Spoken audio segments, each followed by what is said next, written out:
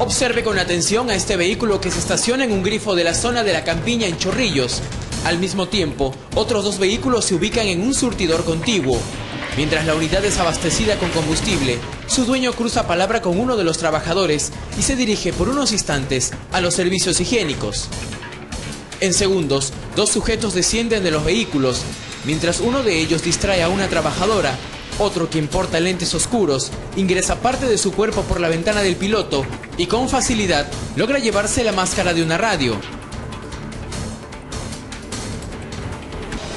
Tras el hurto, rápidamente retoma su posición, como si nada hubiese pasado.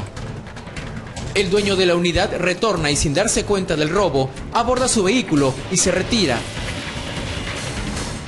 Los presuntos delincuentes permanecen en el grifo.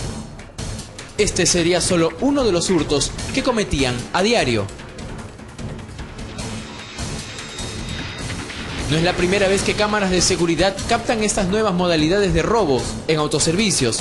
Tengan mucho cuidado para no ser una de sus víctimas.